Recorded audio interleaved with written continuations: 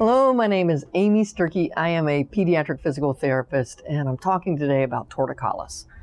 So, torticollis is caused by most commonly a tightness in the sternocleidomastoid. So, I'm going to flare mine right here. That's this muscle right here.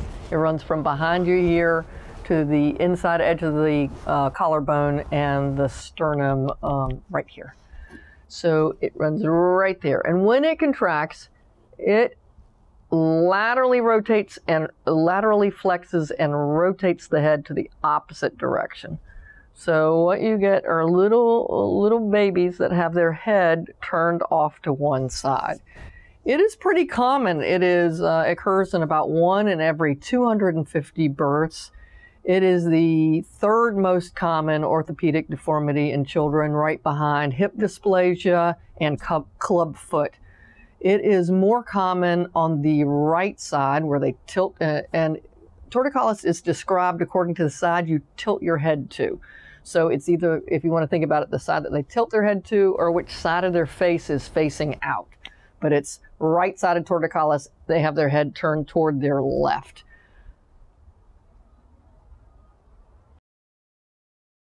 So it's just the opposite of true if it's left-sided torticollis. That means their head is tilted to the left, but rotated to the right. So the head is tilted left, their left, and the left side of their face is out to the front.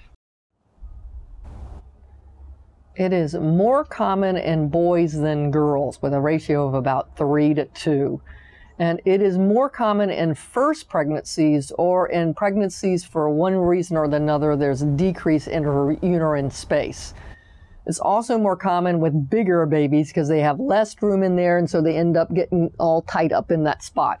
It's also more common when parents tell, uh, will often say that their baby did not move. They settled in and were still in one position for a longer period of time.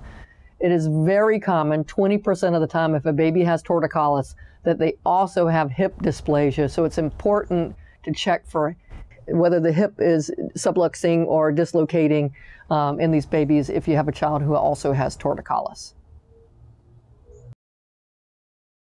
Okay, so what are the warning signs for torticollis? Well, obviously, the first warning sign is if you notice they have their head tilted to one side, or tilted to the other side. Uh, uh, hold on. Tilted to one side or rotated to the other side. Well, that's a sign for a torticollis. If they're having trouble feeding or nursing to one side, that's certainly another warning sign for a torticollis. If you notice that they have flatness on the back side of their head, torticollis um, children who have torticollis, 90% of the time they have this flattening in the back of their head on the side that they rotate their head to. So uh, if you notice that flattening, it's a reasonable chance that your child has a torticollis. If they avoid turning their head to one side for whatever reason, that's another ch- chance that warning sign that your child has a torticollis. And if they prefer to use one hand over the other hand. So if their head is turned this way, then they're more likely to want to use that hand and not so much the other hand. So if your children, babies should not have a hand preference when they're first born. They should use their hands equally. So if you notice one hand is being used more than the other, that's certainly a warning sign for torticollis. So with torticollis, it is really important for all babies, in fact, that they, starting when they are born, that three times a day they have tummy time. Because now that children are on their back to sleep, in 1992, that was the rule that happened that they said every baby needs to sleep on their back now. Well, that decreased the chance of sudden infant death syndrome, but it increased the chances of torticollis. So babies need to be put on their stomach uh, preferably on a, a, firm surface. So on the floor with a blanket on top of it is the very best option as long as they can be supervised. But if you can't do that, use a pack and play or play yard or something like that to be able to put a child on, the, on their tummy as much as they can tolerate it. You need to limit how long a baby is in containers. So what I mean by that is particularly a car seat those tend to increase the chances that a baby is going to have a torticollis. But you need to also minimize infant swings and bouncy seats and rockers. They're all, again, places that encourage because the child doesn't have good head control yet, so their head is more likely to fall off to the side and more likely to encourage uh, uh, a torticollis. Okay, so what are the treatments for torticollis? Well, now there is advanced clinical guidelines for torticollis for treatment for physical therapists that physical therapists uh, all around the country can reference to know what are the current guidelines for treatment of children who have torticollis. The first thing is the aggressive repositioning that needs to be done.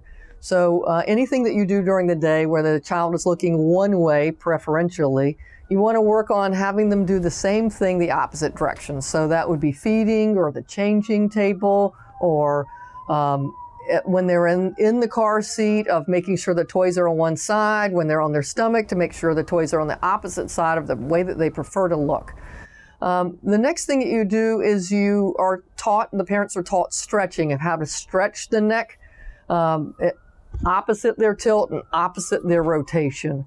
Um, and the last thing, well, there are two more things. Uh, after you get more range, you've got to learn to use your muscles in the new range that you uh, have acquired. So the next piece is strengthening, strengthening in the new range, those muscles that have been lengthened. And the last thing is just education of the parents how to do what they need to do and to be aware of the proper positioning and being aware these children are more likely to be asymmetrical in their development because where the head goes it affects the rest of your body. So it affects their hand use it affects their balance reactions how short or long the side of their trunk is. So it's important that the parents are aware of these issues so those things can be addressed if they show up. There are three basic types of torticollis. The first one is just postural 20% of the children fall into this category. In this case, the child simply has a preference in the direction that they turn their head, but they don't have any muscular tightness whatsoever. These are children that uh, have just developed a habit, but the habit hasn't translated into a tighter muscle yet. That's 20% of the cases. The next one is muscular, and these are children, 30% of the cases, that they have developed tightness in that sternocleidomastoid muscle, this one right here, or this one right here. Um, and they actually do have limitations in the passive range of how far their head and neck can tilt or rotate. In normal development, a child should be able to passively, you should be able to help them take their ear all the way over uh, to the shoulder. I can't do it because as you get older, you're, you get tighter. But an infant should be able to take this ear and put it on the shoulder. And in normal development, a baby should be able to rotate their head and they should be able to turn it not just to their shoulder. You see how I cheated? Not just to your shoulder, which I can't quite get to, but they can get past their shoulder a little bit. And they should be able to do that on both sides. Okay, the third category is the ones that have a mass in the muscle right here. So they have a fibrous band or a mass in this muscle right here. So it can occur with about two to three weeks of age. 50% of children, if they're going to have this, have it by two months of age, and it can occur as late as three months of age. It can grow for about two months until it reaches to the size of an almond and it usually starts to disappear slowly over time, usually gone by the time they're eight months of age. Okay, so your next question is, oh my gosh, what causes this? Well, in the case of that mass that a child may have, that, like I say, appears typically in the first few weeks after birth, and that's due to a birth trauma uh, at, at the time of birth or shortly after birth. It's often caused by the use of forceps or a vacuum suction. It can be caused by just compression in the birth canal so that, that there's pressure and that that uh, muscle does not get as much oxygen as it needs to get, and so it, it got damaged. Uh, it can also be caused by intrauterine malposition. So the baby is in a poor position. Uh, kids who are breech are more likely to have it. Um, again, the kids who get stuck in one position and stay there too long, um, that that could cause it. Um, another cause is GERD, gastroesophageal reflux. Those children have the affective torticollis often that can be with or without a hiatal hernia. And those children, uh, due to pain, can arch and rotate their head off to one side because it's more comfortable for them due to the pain caused to the reflux. Uh, it can be positional, as we said as well. It can also be caused by early closure of the fontanelles. So the fontanelles are the soft spots in your brain, your uh, when uh, in your skull. Um, when a baby is born, they have uh, soft spots where the plates of their skull have not grown together well. And when those close up early, it can be a cause of, of torticollis as well. Another cause is it can be caused by vision problems. So starting at six months or later, not before. So if the child has torticollis before six months, this is not the cause. But if it starts around six months, there's a muscle called the superior oblique, and it helps the eye turn down and out.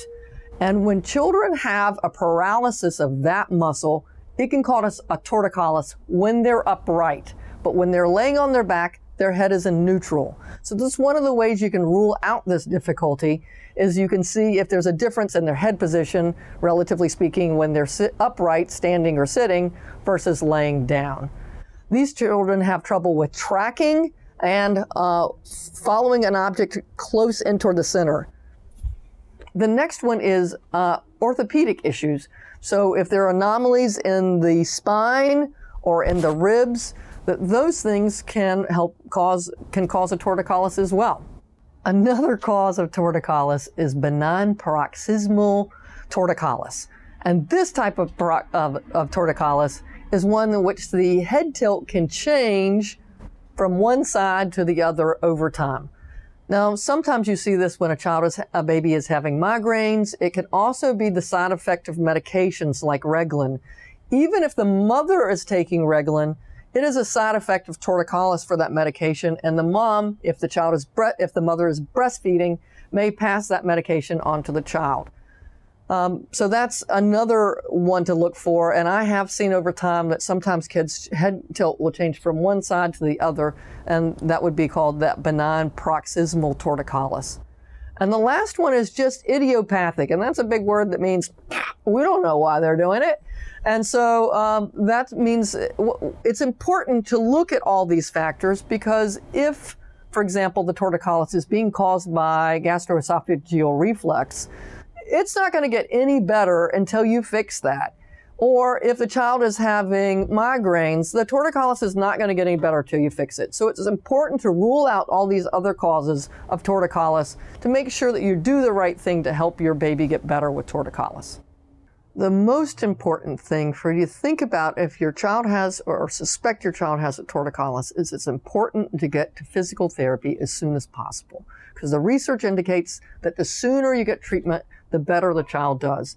For example, if a child is less than one month old when they start seeing physical therapy, then 99% of the time you have a successful outcome. That means that there is the tilt and the rotation have completely resolved.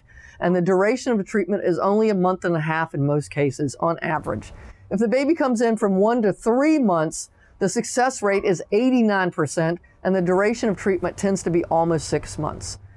If a child comes in from three to six months of age, then the success rate of treatment is 62%, and often these children average are in therapy seven, 7.2 months.